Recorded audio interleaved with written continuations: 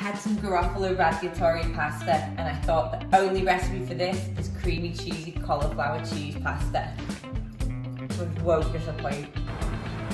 Into a pan, we're gonna go in with our Garofalo olive oil and some butter. Gonna start sweating some onions and garlic with a bit of thyme, salt and pepper. Go for about 10 minutes until it's nice and caramelized and sweet.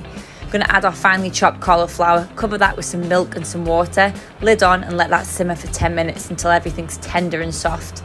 Spoon that into a jug and we're going to blend it until we've got a silky smooth sauce. We're going to return this sauce to the pan while we cook our pasta in salted water. Once we've added the sauce back, we're going to add some grated cheese. I've gone for Parmesan and Comté, some fresh truffle carpaccio. You can just use truffle oil here if you like. Adding the cooked pasta, we're going to mix everything and emulsify it with some pasta water and another good drizzle of the Garofalo olive oil.